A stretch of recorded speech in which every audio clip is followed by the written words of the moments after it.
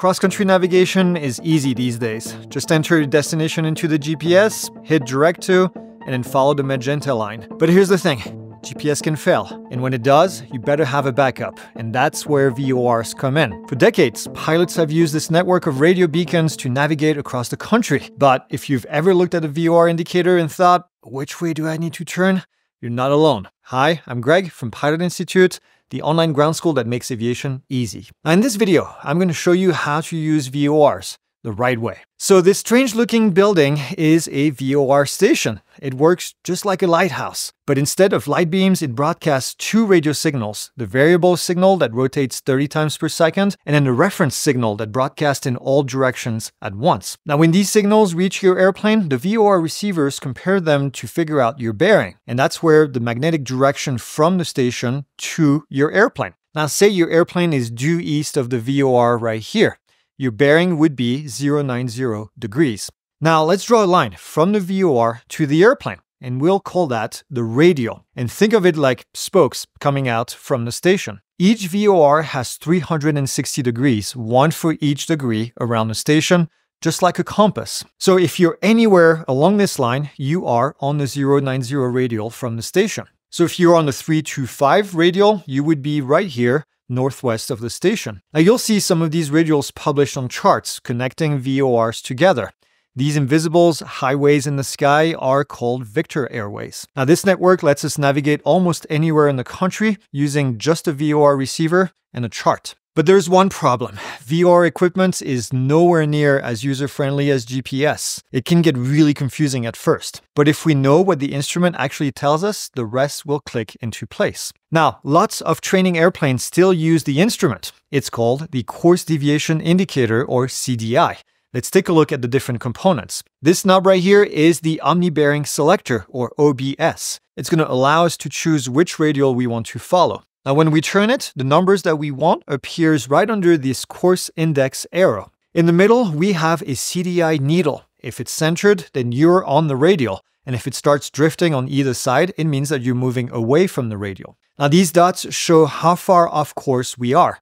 Each dot means 2 degrees of deviation. A full scale of deflection, that's when the needle moves all the way to either side, and that is 10 degrees. But how far off course we are, in miles, not in degrees, actually depends on your distance to the station. If you're 60 miles away, a 2 degree deflection puts us at 2 miles off the center. That's a pretty big tolerance. But if we are 5 miles out, then that's going to shrink to 1100 feet. So as you approach the VOR, the needle actually becomes more sensitive. Now, here's something interesting. Let's put our airplane south of the station on the 180 degree from the station. If we dial in 180 degrees, the needle centers.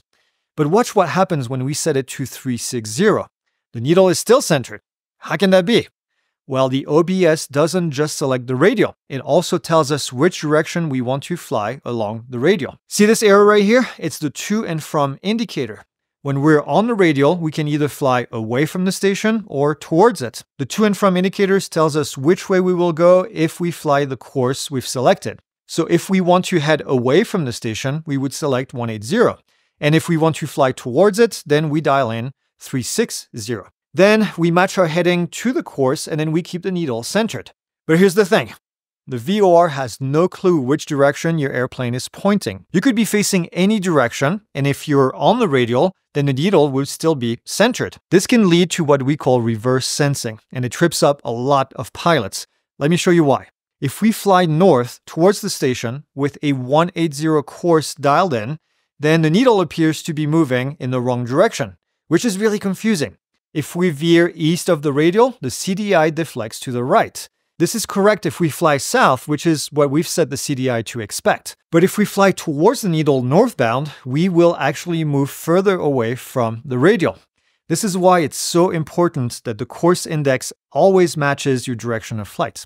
Now, to avoid reverse sensing, some aircraft have a horizontal situation indicator or HSI instead of having the CDI. Now, an HSI combines the heading indicator with the VOR display. Now the display rotates with your heading, so it's always aligned with the direction of your flight. HSIs makes VOR much easier to use, but don't expect to have any of these on your FAA written. You guessed it, it's all CDI. Okay, here's a scenario that you might see on your check ride. So you're flying northeast of Flagstaff, Arizona, and you're a bit lost. And you can't really find any good landmarks, and your GPS just died. So much luck.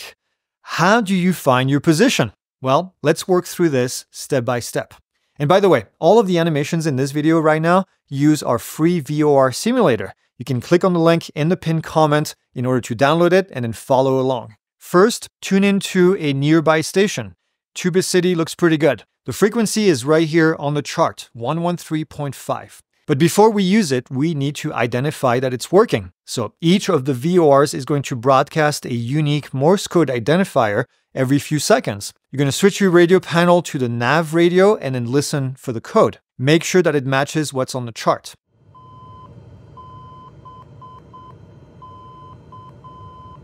No identifier, do not use the station. Now let's find our radio. Rotate the OBS until the CDI needle centers with a from indication. The course index shows 165, so you're on the 165 radial from the station, which is southeast of the station. And that's helpful. But here's the catch we could be anywhere along that line. So we need to cross reference using another source. And we have two options here. We can use the DME, distance measuring equipment, or we can get a cross radial from another VOR. DME is the easiest method if your airplane has it. It tells us how far we are from the station in nautical miles, but it doesn't work with every VOR. Look at the VOR chart symbols. Plain hexagon with a dot, that's no DME. An hexagon with a box, it has DME. Three dark blocks like this, that's a VORTAC, which has DME. Now, quick note about DME. It gives you what we call the slant range distance. That includes your altitude. So if you're directly over the station at one mile up, then it's going to read one nautical mile, not zero. In our case, Tuba City VORTAC DME reads 26 nautical miles, just perfect. Now we can plot our position. But what if you don't have DME? That's where the second VOR comes in. Tune and identify the Flagstaff VOR on the second nav radio. The point where these two radials cross, that's your position. All right, here's your next step. Grab the VOR simulator, turn off the airplane icon, and then get yourself lost. Then you can use VORs in order to figure out where you are and then plot a route to a nearby airport. Practice this until it feels like second nature. That way, if the magenta line ever disappears, it's no problem. You've got this. Thanks for watching, and we'll see you in the next one.